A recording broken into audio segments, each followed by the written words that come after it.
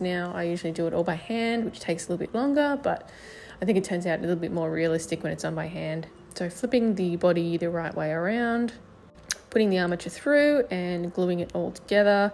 Once the armature's been created, obviously, I use polyfill for the stuffing, uh, which sort of like a cushion stuffing, I guess.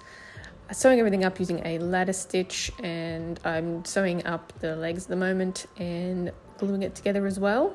Applying some faux fur to the face. I've done majority of it in white and then I'm going to be adding some of those little eye markings like you've seen. So I'm doing it with some fabric paint and a brush. You can do it anyway with uh, airbrush or fabric markers. Uh, sometimes I find either one works better, but today I am using a just simple brush.